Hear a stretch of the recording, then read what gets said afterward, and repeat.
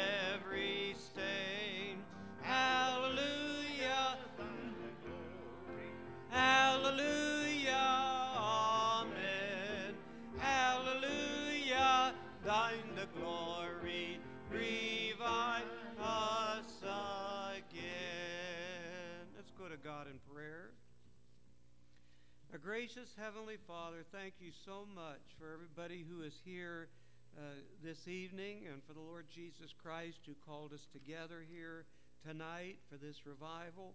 We're thankful for our speaker, Aaron, and I pray that you'll bless him.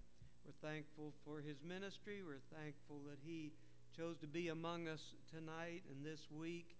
And we're thankful for his family also is here with us. All our visitors, we're thankful for them.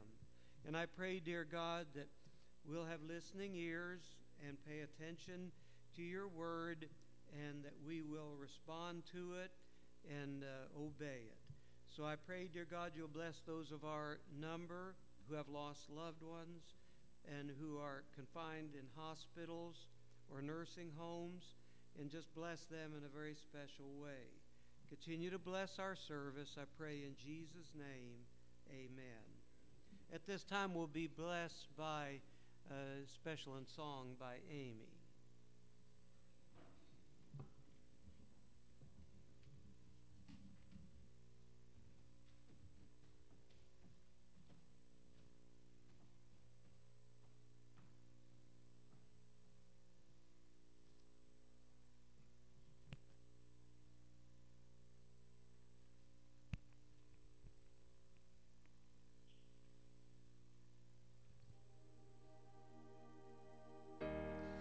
Look up to the mountains.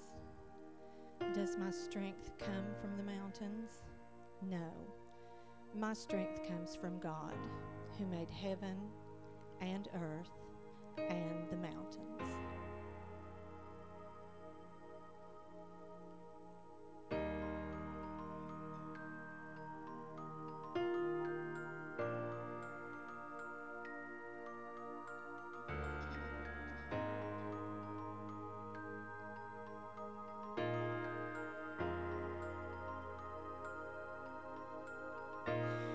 Confusion's my companion and despair holds me for ransom, I will feel no fear.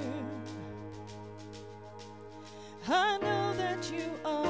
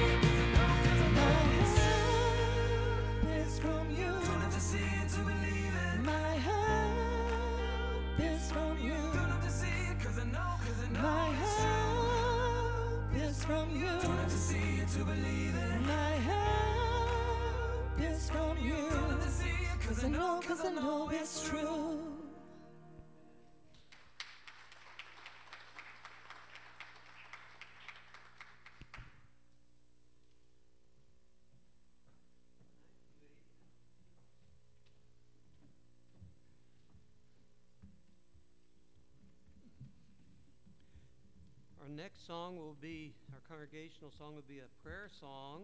It's page number 24 if you want to turn to that. And uh, we do want to make mention of a funeral that we will be participating in tomorrow for our dear sister uh, Catherine Brewer. And uh, the funeral starts at 1, the visitation from 11 to 1. I do need singers for anybody who will be able to come out for that. We would appreciate it very much. Also, tomorrow, Bruce May's uh, wife's cousin uh, will be Loretta May will be having they'll be having her funeral at Rogers also at one o'clock. Yeah, Wednesday. You're right, because that I was thinking tomorrow was Wednesday. So thank you for the correction. That'll be on Wednesday at one o'clock at Rogers, and again the visitation will be from eleven to one.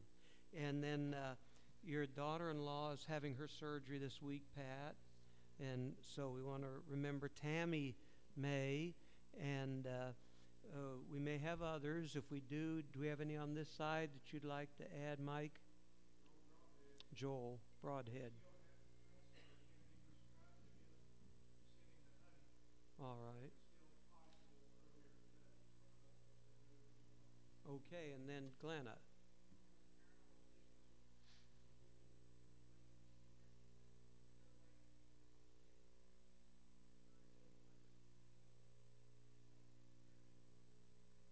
Okay. And the name again? Renly. Okay. And here, go ahead, Betty. Rose Witt. And Mike Maynard Sr. Peggy? Not yet. I will, though. Howard uh, goes uh, tomorrow to have the port put in. To, they're going to begin his uh, his therapy for uh, his cancer. So we don't know if they're going to actually start the chemo tomorrow or not. But he does get the port. So yes, we want to continue to remember Howard. Uh, that was Amy that sang for us. That was her dad. So that was a very appropriate song. I wished he could have heard that tonight. My help comes from you, and I know he's aware of that. All right, we'll move on to this section, Barbara. I saw him today, and he was doing fairly well. Yes. Okay.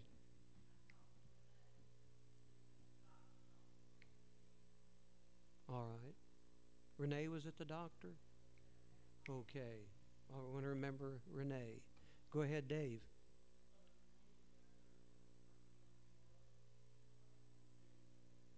Oh, that's your brother Sam. Sorry to hear that. Okay,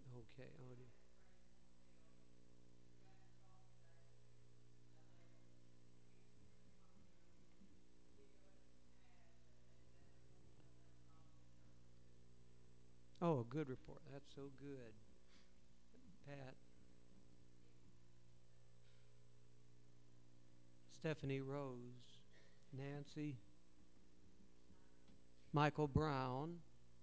Over on this side. Uh, go ahead, Darlene.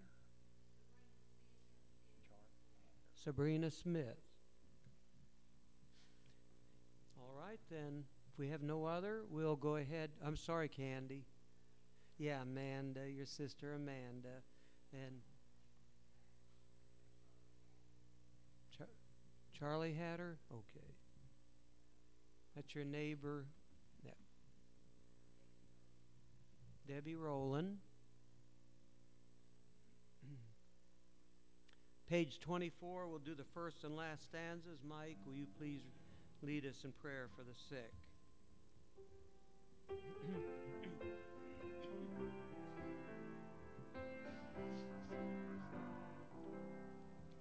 Tis the blessed hour of prayer. When our hearts lowly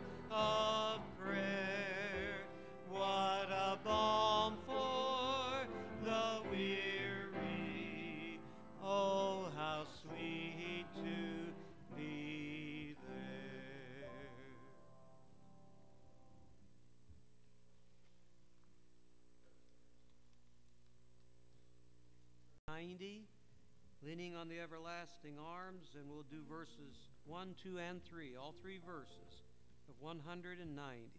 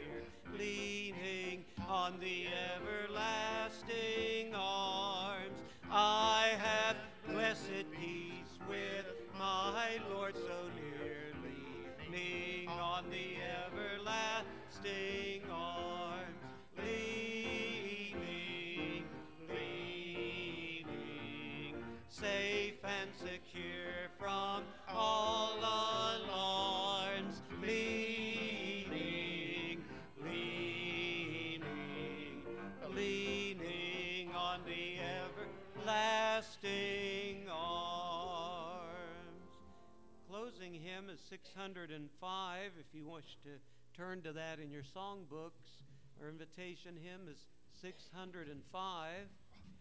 And our speaker tonight is Aaron Davis. He's the minister of East Point Church of Christ in Johnson County, uh, Kentucky. And uh, we are always privileged to have him here among us. And uh, we, he does a marvelous job presenting God's Word. And we hope that you'll be blessed tonight also by hearing him. As I promised last night, his family is with us, uh, and Stephanie will be singing tomorrow night, but his three sons are also with us as well uh, Silas and Deacon, Deacon, Deaconess, listen to that, Deacon and Abram. So, uh, Deacon, I'm sorry to do that to you. And uh, so at this time, I would like to call upon Amy again uh, to come and present us a message and song. And immediately after that, uh, Aaron will come and uh, bring our message.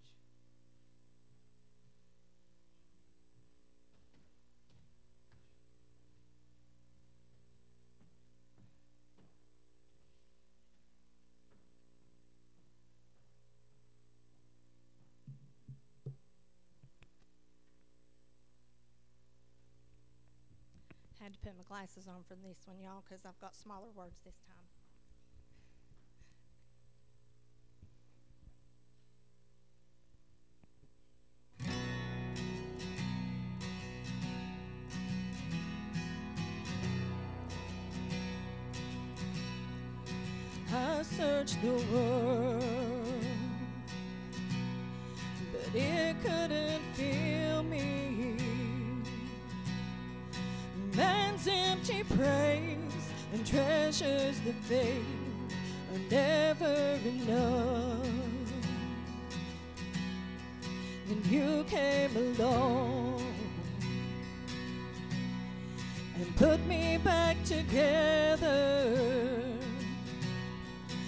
Every desire is now satisfied here in your love. Hey, oh, there's nothing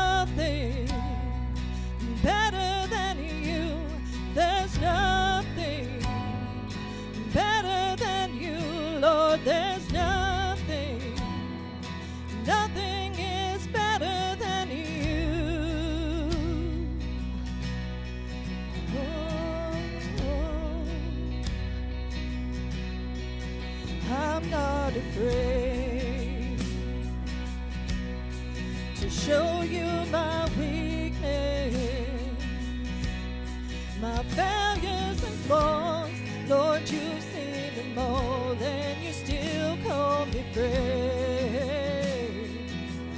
Cause the God of the mountain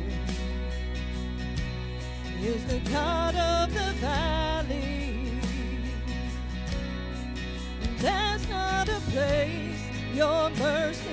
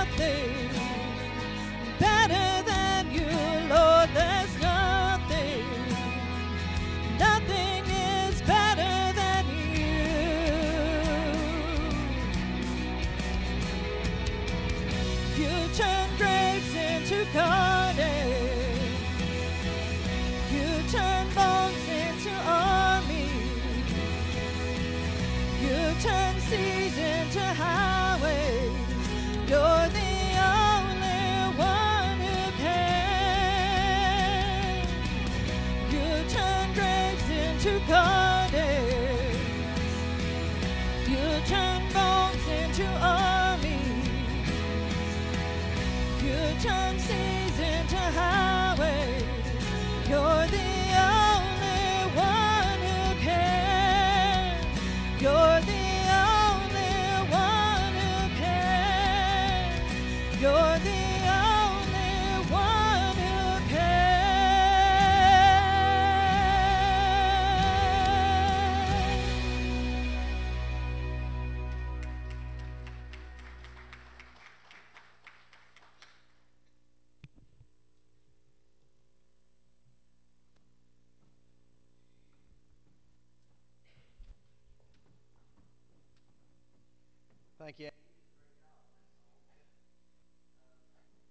Boys are, are with us tonight.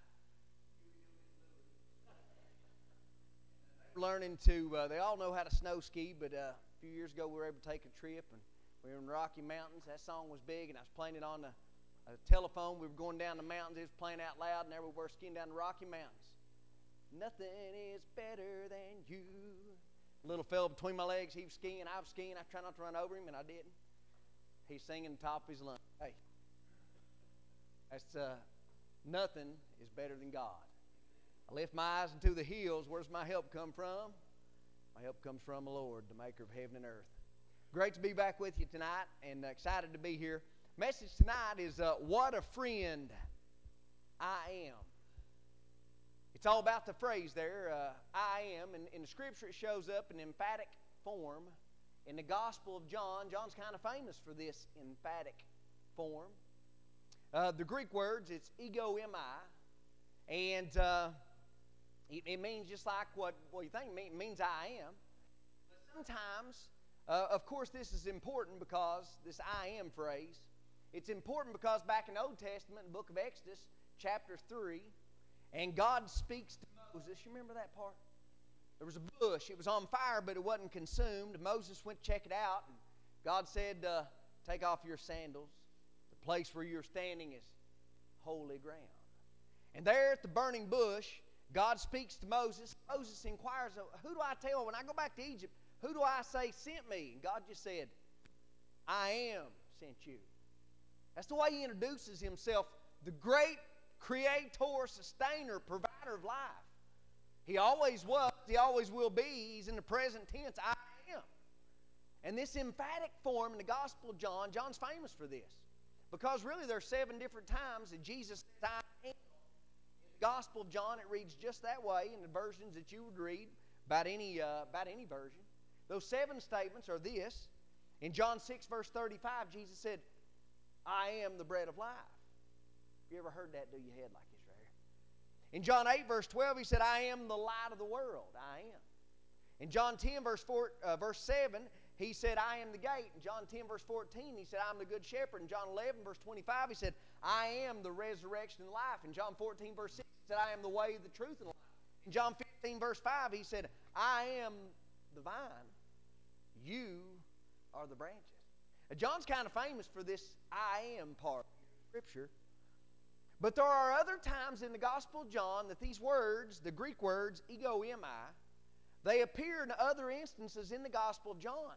But they're not, they're not always translated I am in the same in the same way as these other seven. Same words. It occurs in the same Greek form.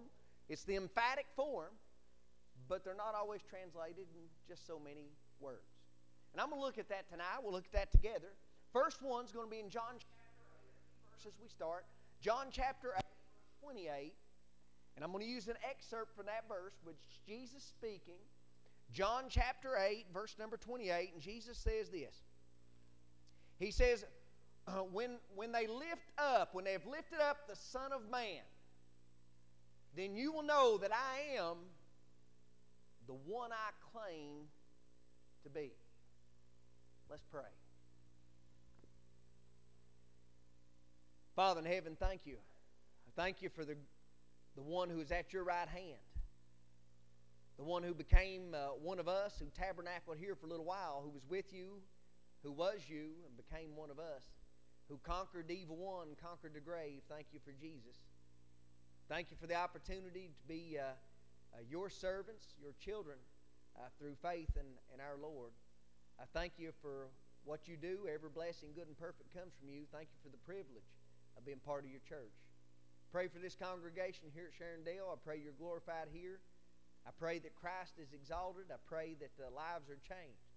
Lord, increase our faith and increase our knowledge, increase our number, because all the increase comes from you. We ask it in Jesus' name. Amen. This idea, ego form, I am, occurs several times in the Gospel of John. In addition, we'll come back to John 8, verse 28. But let's go on to, I don't know, John chapter 6. In John chapter 6 is a powerful passage. In John 6, this is the only miracle in Jesus' ministry that occurs in all four Gospels Matthew, Mark, Luke, and John. That is the, the feeding of the 5,000. John chapter 6. It was there Jesus took a, a little boy's lunch. It was five barley loaves and the kind of fish that I catch two small fish. He takes a little boy's basket, he blesses it, prays the Father's blessing on and he feeds a multitude. He turned a little boy's basket into a bottomless buffet. And it's pretty awesome. And after the feeding of the 5,000 in John chapter 6, Jesus sends the disciples across the Sea of Galilee or the Lake of Gennesaret, same body of water. But they go across the Sea of Galilee.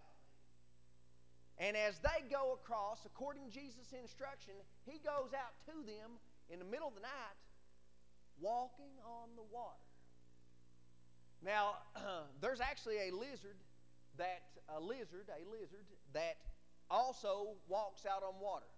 And uh, this lizard, the way its feet are shaped and the weight of its body, it's spread out the weight, and it it is lighter than the surface tension of the water, so it can actually move across the top of the water. Did you know that? And I don't know what the scientific name for it is. Deep to you? You know the scientific name for that? Because this man's a biologist right here, my 12 year old. He's about a biologist the term that you would recognize this lizard by, not the scientific name, but this is what they call it the Jesus Christ lizard. And that's not blasphemy at all. I mean, they recognize that Jesus Christ did walk on the water. And that's really amazing in every way because human flesh is more dense than the density of water. Therefore, when you get into the water, you don't walk across the top of the water, you sink down into the water, which is exactly what Jesus should have done. However, this God man he who was with God in the beginning. John chapter 1, verse 1, the beginning was the Word. The Word was with God, and the Word was God.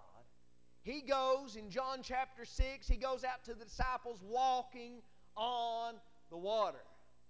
And in John chapter 6, verse number 20, you find these words again Ego eimi in emphatic form. Jesus said, Don't be afraid, I am He. That's the way the that's the way the NIV says it. That's the nearly inspired, I mean, the New International version. Did you catch that? The nearly inspired version. Uh, that's the way it's translated in the version I use is I am he. Don't be afraid, I am he. But in the Greek, it's same words as I am the bread of life, I am the light of the world, I am the resurrection of life. It could easily be translated and accurately be translated. Don't be afraid, I am. And that would change the way I would read the verse. What about you? It's the same Greek words, it's in emphatic form. Ego eimi. And this occurs several times in the Gospel of John. Let's keep going. Uh, John chapter 13. In John's Gospel, you flip over to chapter 13, Jesus is there. He's in Jerusalem to celebrate the Passover celebration. Feast that Moses had required every male to attend, you know. And as he goes up to, uh, to celebrate this Passover feast, he goes there with the disciples, what we know as the Last Supper. And in John 13, you find that at the Last Supper, Jesus, he gets up from the meal and he gets down on his knees and he washes the disciples' feet. And he said, i am making this an example that you should serve others. That's what he's doing. It's a powerful statement. The all powerful, the all knowing, who can calm storm, we discussed last night, who walk on said, I'm setting an example for you. He got on his knees, he washed the disciples' feet. John chapter 13. And there at the Last Supper, he explains to them that one there at the table, one would lift up his heel. One would lift up their heel against him. And he's explaining that to them. Now, Jesus says in John 13, verse 21, he said, I'm telling you this now before it happens so that you will know that ego eimi, I am he. Now, see, this event that one close to him would lift up their heel against him, that's recorded over in the book of Psalms in the Old Testament. David recorded Psalm 41, verse 9. And David lived nearly a thousand years before Jesus. And Jesus wants his disciples, he knows in John 13, when you read John 13, 14, 15, and 16, he's telling the disciples he's going away. He's telling them what's going to happen. They have no idea. He'd just ridden previously, a few days prior, he had ridden into Jerusalem triumphantly. Hosanna, blessed is he who comes in the name of the Lord. They have no idea that by morning, the daybreak in the morning, he's going to be condemned to die. And by 9 o'clock, he's nailed to a tree. And he's trying to, to tell the disciples what's going to happen. He says, One of you will lift up your heel against me. And I want you to know when it happens. I want you to know. I'm telling you right now before it happens so that you know it was written a thousand years prior. I want you to know, ego. I am. That changes the way I read it. What about you? Same words. As I am the bread of life, I am the light of the world, I am the gate, I am the good shepherd. Same exact words, emphatic form. I am. And this occurs several times in the Gospel of John, but I'm having fun. Let's keep going. Over in John, as you keep reading John's Gospel, John chapter 18, in John 18, you find in the first few verses, uh, Jesus goes into the Garden of Gethsemane, and he goes there with his disciples. He goes to pray. And while he's praying in the garden, Judas, the betrayer, comes with a band of soldiers, and they come to arrest Jesus. And Jesus asked them in John 18, the first few verses, there about verse 4, he said, Who is it you're looking for? Who do you seek? And they said, Jesus of Nazareth. His reply was, I am he. Don't guess what words that was in the Greek? Starts with ego, ends with mi. Ego eimi. Same word, emphatic form. And you, you don't need me to point out the, the emphasis here. You don't need me to point it out because John 18, verse 6 tells you all the emphasis you need to know. The Bible says that when Jesus said, I am He, or ego eimi, I am, John 18, verse 6, it says, All those who were with Jesus, drew back and fell to the ground. How you like that emphasis? And my footnote in my Bible just says, uh, boom, shakalaka. Hey, that's some powerful stuff right. This ego I, this uh, I am. I am the one I claim to be. I am. Before it happens, I'm explaining to you. And here he says, Jesus of Nazareth, I want you to know I am. And all the bad guys draw back and fall to the ground. By the way, that's not recorded. The fact that they all fell to the ground, that is not recorded in the Gospel of Matthew, Mark, or Luke. It is only recorded in the Gospel of John. But hey, God doesn't have to say anything more than once to make it true. It's in the Scripture. That's exactly what happened. Now let's go back to where we started in John chapter 8. If you flip back over there, John chapter 8, verse number 28, Jesus said there, He said, I want you to know when that they have lifted up the Son of Man I want you to know, ego eimi, that I am the one I claim to be. Now, think about what Jesus just said. When they have lifted up the Son of Man, he was only lifted up one time. You see, Jesus did go up to Jerusalem intentionally and voluntarily. They did shout praises, Hosanna, blessed is he who comes in the name of the Lord when he came on Palm Sunday. But by Friday morning, they have arrested him while he was praying. They have run him through a charade of a trial. They have condemned him to die and they have flogged him, the Roman flogging, where they don't even keep count and they beat him without mercy. History teaches us that seven out of ten healthy men would die from a Roman scourging because of the blood loss. Jesus is beaten nearly to death. He then, he cannot carry the cross all the way to Calvary. He has to have help to get there. Simon of Cyrene was forced to carry the cross for Jesus. They get him there on Friday morning by 9 o'clock. He is nailed to a tree between two criminals, one on the left, one on the right. You remember this story? He's lifted up. He, he's, the cross is erected. And there he hangs as if he were a criminal It's recorded in Matthew chapter 27 and Mark 15 and Luke 23 and John 19. The Jewish leaders are without mercy, scoundrels. And they go around the foot of the cross and they say, He saved others, let him save himself if he is the Holy One of God. Jesus, can, you're nailed to a tree, but he can still talk. But when he speaks up, it's only love and compassion. Father, forgive them, for they know not what they do. It's like you beat him half to death, you nail him to a tree, and his character never changes. When he speaks up, he's concerned about his mother. Mother, behold your son. Son, behold your mother. He's concerned about a criminal who repents and sees through the grave on to the resurrection. When you go, when you come into your kingdom, remember me. Jesus said, Today you'll be with me in paradise. Jesus Christ at Calvary lifted up to draw all men to Him. What happened that day from, from high noon, what we know to be 12 p.m., until 3 in the day, it was a darkness that Luke could only describe. Luke's Gospel, chapter 23, verse 44 and 45. It was a darkness described as the sun stopped shining As far as we know, a bright and beautiful day. But at high noon, it's dark as a dusk. This God man nailed to a tree, the accusations uh, written about, they scream it out, the accusation written overhead, the King of the Jews. Nobody's won that title in Jerusalem for almost 600 years. He's lifted up. The darkness, the noise, the shouting, the crucifixion.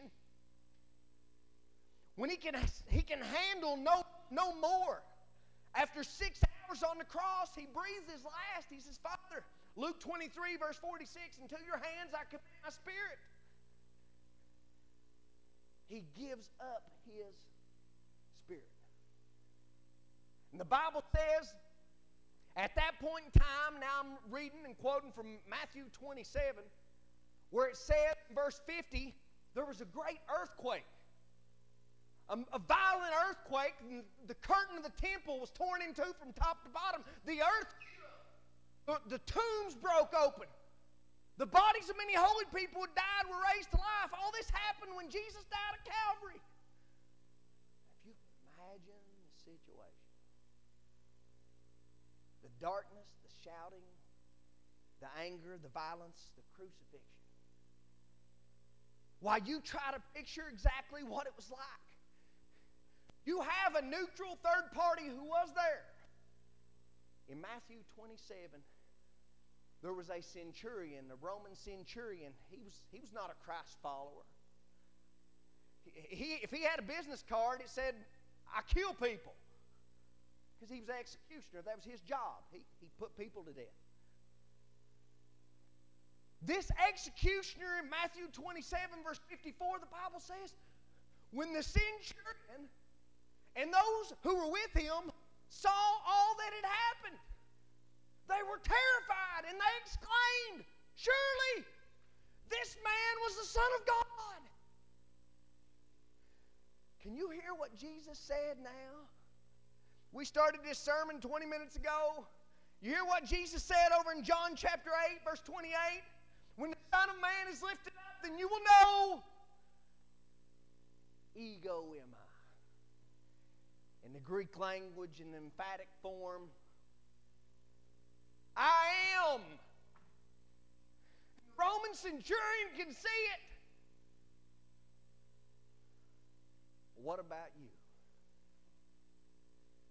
You see, the Bible teaches us Jesus Christ, He is the great I am. I don't know what else you want Him to do. The calendar, literally, the calendar is based on His existence. We are born, it's 2024 AD, Anno Domini, the year of our Lord. I mean, the calendar's based on his existence. What else could he do? The Bible says that he actually, God so loved the world, he gave us Jesus. God so loved the world, he gave his only begotten Son, and whosoever believeth in him but have. Yeah. You see, Jesus became one of us. He conquered sin, he conquered the grave. What else could he do? And what he said about himself in John chapter 14, verse 7, he said, If you know me, you know the Father. In John 14, verse 9, he said, If you've seen me, you've seen the Father. In John 14, verse 24, he said, The words that I speak are not my own, they belong to the Father who sent me. He and the Father are one. He is the great I am. He's the great I am, whether you believe it or not. But here's the most incredible part He wants to be Lord over your life. He is the, the King of all kings and Lord of lords, true. But He wants to be King in your heart. You see, uh, that takes us just a few simple points here at the end. It's this interior world. That's what God's concerned most about. Jesus said the greatest of all the commandments is this. Mark chapter 12, he said in verse 30, he said, The greatest commandment is to love the Lord your God with all your heart, mind, soul, and strength. You see, in the, in the book of 1 Samuel 16, 1 Samuel chapter 16, uh, Samuel the prophet was there, and, and God told Samuel, said, The Lord does not look at outward appearance like man does. The Lord looks internally. The Lord looks at the heart.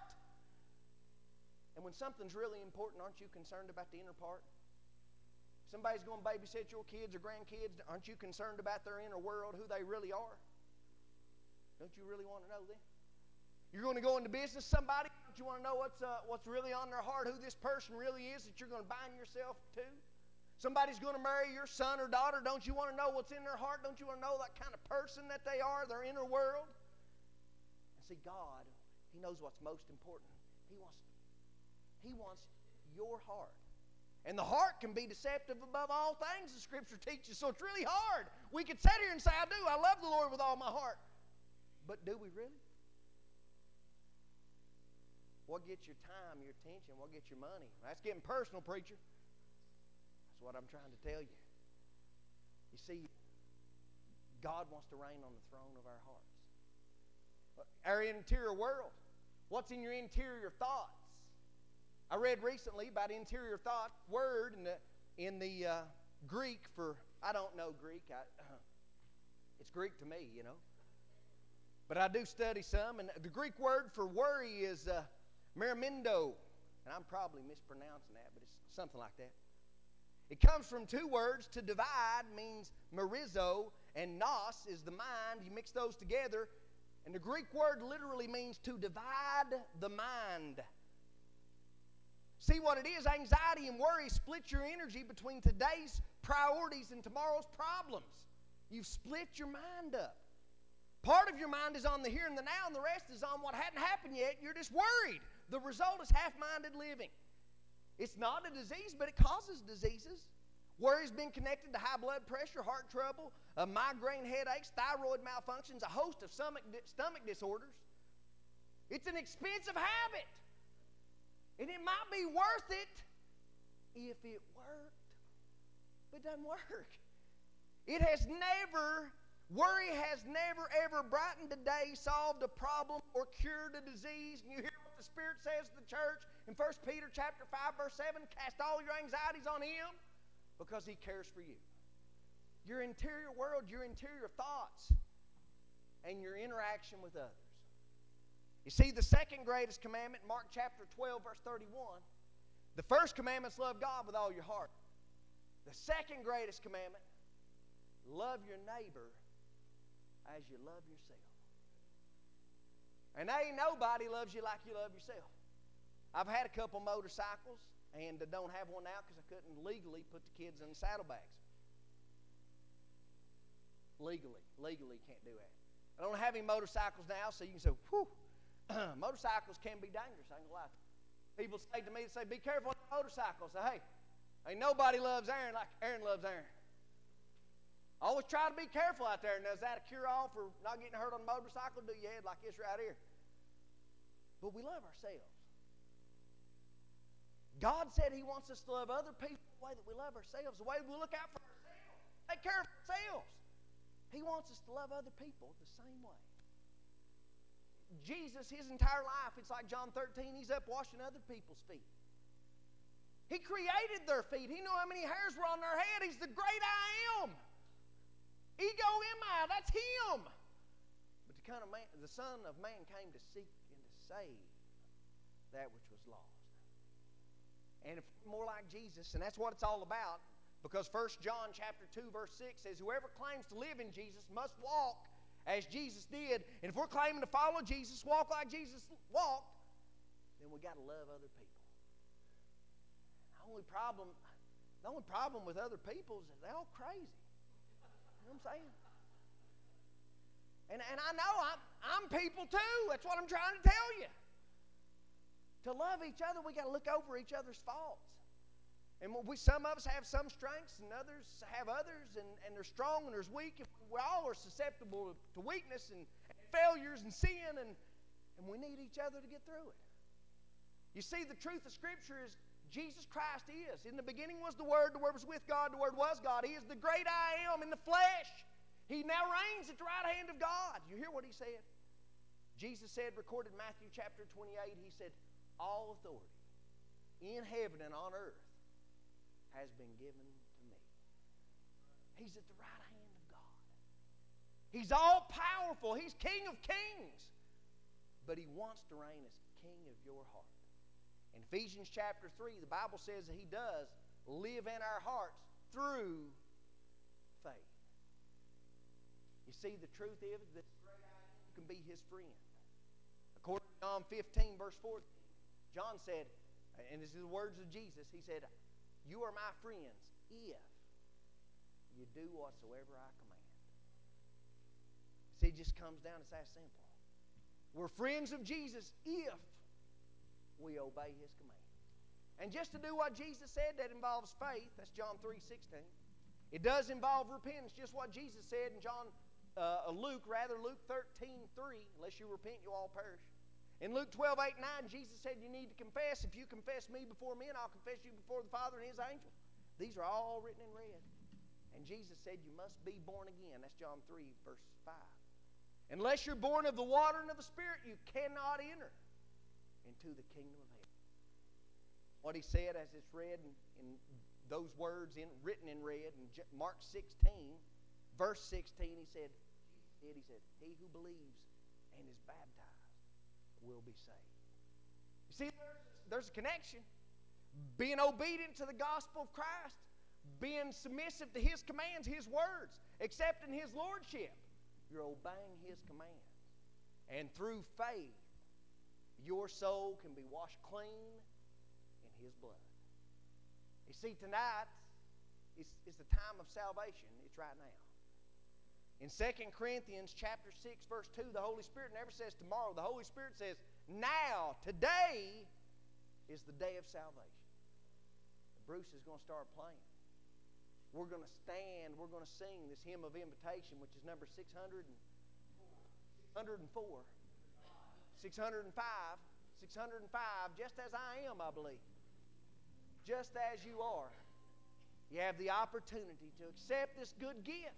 Salvation be saved if only you'll submit to the commands of Christ. Won't you come as we sing? Just as I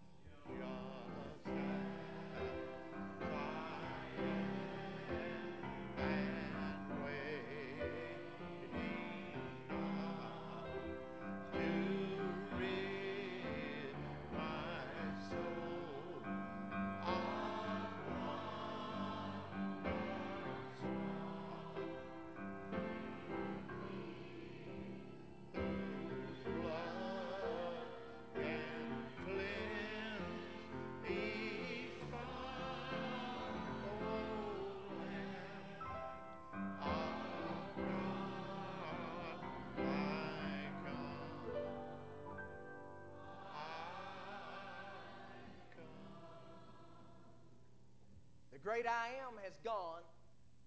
He's gone to prepare a place for those that love him. It's recorded in John 14. He starts that chapter, verse 1. Let not your hearts be troubled. You believe in God, believe also in me. For my Father's house are many mansions.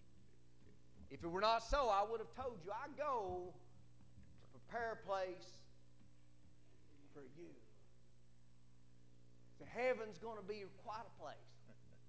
When John looks over in Revelation, he sees a multitude that nobody, nobody can remember, nobody can count. There's no sun nor any source of heat, but the glory of God is the light, the street paved with gold. Those around his throne, those who love him, they worship him, and God says, wipe away every tear from their eyes. Heaven's going to be a spectacular place. But I will tell you one thing. One thing you won't be able to do in heaven is tell somebody about Jesus. Because there ain't nobody that don't know Jesus is going to be there. If you're going to tell anybody about Jesus, it's got to happen now. See the urgency of the hour. Got to happen now. What a friend I am. He go, am I? The great I am. He wants to be your friend. He wants to be the friend whosoever will, let Him come. Every race, men, women, children, He wants you to know His goodness. He wants to reign on your, the throne of your heart.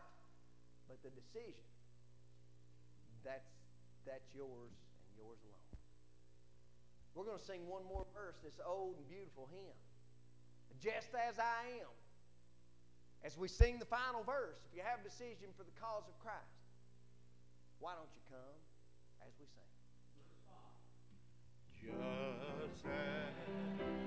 I